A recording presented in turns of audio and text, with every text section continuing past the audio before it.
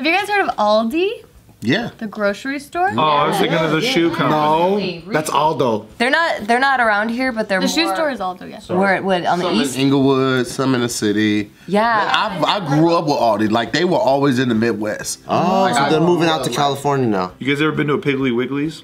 No. Yeah. That's a grocery store. Is it really? Sounds cute as fuck. That, that does sound cute. Have you ever been to uh, a Ding Hao? Ding how. Okay, cool. I got good sandwiches there. Aldi's UK division, so this is for the UK division, they came up with this campaign to demonstrate the spirit of in it togetherness.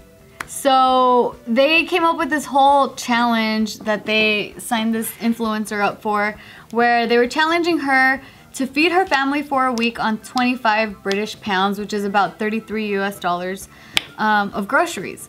And they chose the hashtag Aldi Poorest Day Challenge. Why would they do that? Oh my. God. Because they are saying that people tend to spend too much money over the holidays, and so Frugal challenge. And so they Use a different word. that- that's where they fucked up. Broke ass challenge. A lot of people need to tighten their budgets in the month of January, and so they wanted this campaign to demonstrate like how, you know, people can still feed their family by shopping at Aldi through the poorest day of the year until payday.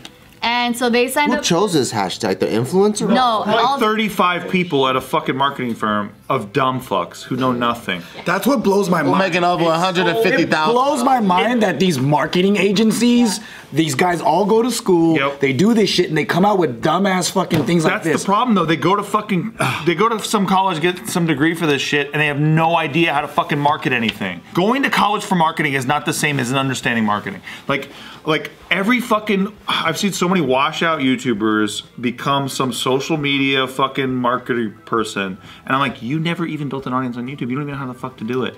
But that's who gets hired by these companies. Because they're like, I'm bullshitting right now and I built a fucking audience of nobody cares. saw one of those. There's so many of them, you have no idea. Exactly. It would make talking you cringe and throw up at the same time. These people are clearing six figure salaries at some company, having never built a YouTube audience and just wiping out of the medium. It's nuts. So they recruited this fashion influencer named Natalie Lee, who uh, has this blog, and so she joined the challenge. And so this is her post. This is what the photo looks like. Tahir, would you like to read the caption? Sure. Aldi has challenged me to feed my family of four, Jesus, for a whole week, breakfast, lunch, and dinner for 25 pounds to see if it's possible 25 pounds for a whole week? That's possible. to see if it's possible. January January is probably the hardest month of the year financially for most people, so I'm interested to see if I can feed my family with a well balanced and nutritious week's worth. I mean, f- nutritious week's food shop. What do you think? Follow along on my stories to see how I get on. Family of four with with like 30 Carbs, You could do rice, lots of rice and beans. and you beans, Could do and you can do sketty. Yep. with marinara. Got it. The most expensive thing will be like fresh Meat. Yeah, yeah, meat and then produce. This post also had originally the that hashtag I mentioned, and so immediately she just got started getting a whole bu- like the first comment that you could kind of see here. It says totally distasteful and completely out of touch. What's worse are the disingenuous replies to comments. To those in support, thanks. It's a great challenge, and to hmm. those critics, I can't read the rest.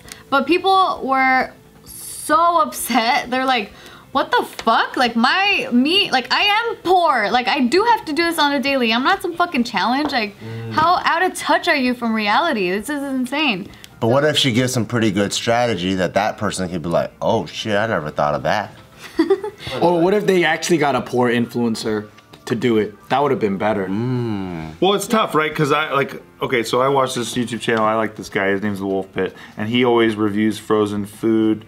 And he's like, I can't believe this sucks every time. That sounds familiar. Yeah, I've talked about it before, I think. Uh, but he does this thing now where he tries to make a very low cost meal Yeah. for families who are struggling.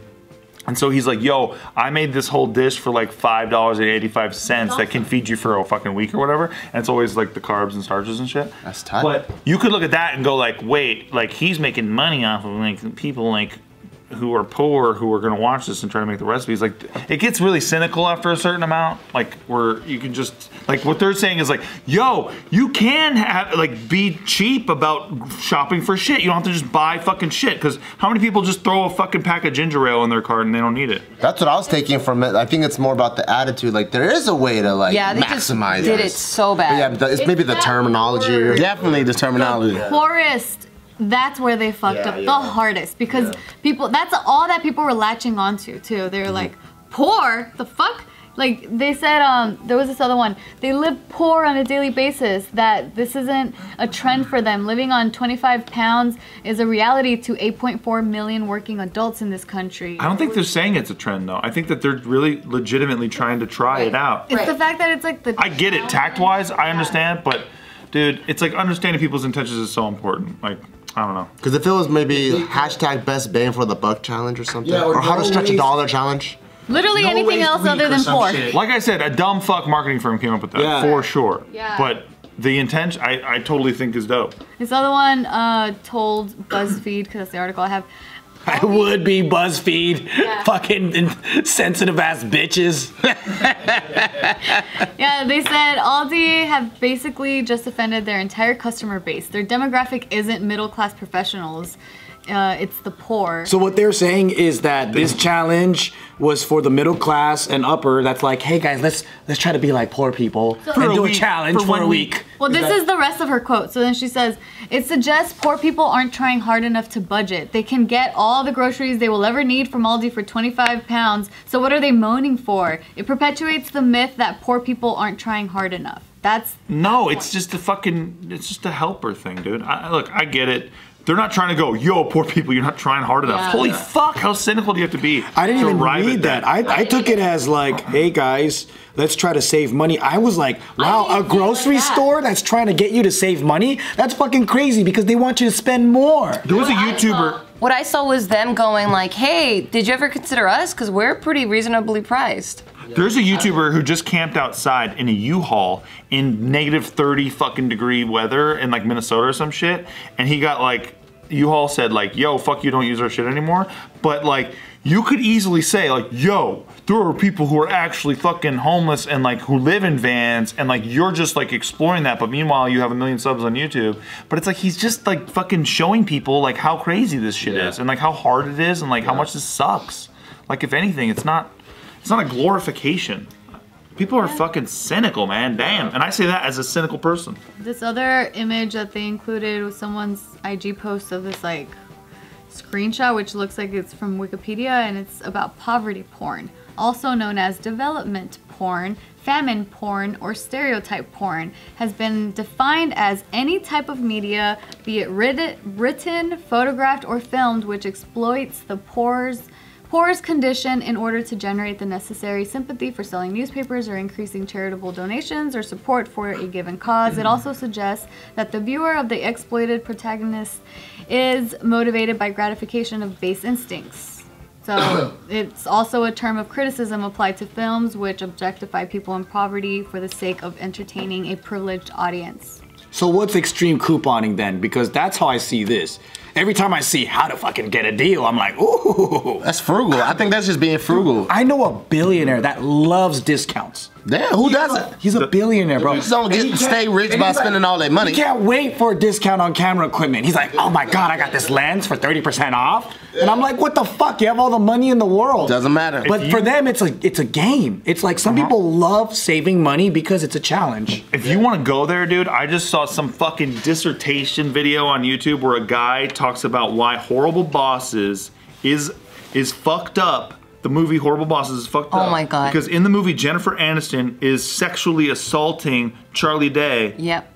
And I'm like, that's what's funny about it is that she's hotter than fuck, and he's saying no. That's all. That's all. And, and like The irony. but, right, the irony of that. And people are like, this is fucked up. There's so many double standards and all this shit. Like, if a guy did that, all this shit, and I'm like, dude, no. What the inclination is is that guys are more down usually to fuck. Usually, not all the time. Right. No. And yes, guys get raped and all this other stuff. I know. That's not what the movie's talking about. Guys don't get raped. It doesn't matter. What if the hottest woman, one of the hottest women on earth, even at fucking 45, 50, was trying to suck your dick, and you're like, no thanks, I, I'm a doctor. Like that's all. That's the laugh. Like that's why people are laughing. But if you want to go there and talk about how horrible everything is, and like, oh, na na na na.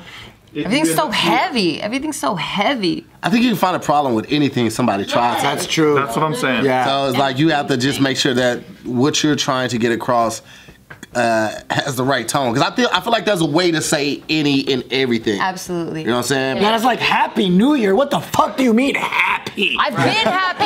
yeah. I've been happy. Do I not look happy? Or like, hey, I heard you guys talking on JK News about poor people um, and about how how people are hungry. What kind of car do you drive? Do you really need that car to drive? Like, I I'm not- do. I'm not even kidding. Like shit like that. This is where all this leads They have to like pull from something. To anything to just fucking take a shit on you so that you're the one who's shit on now for talking about it.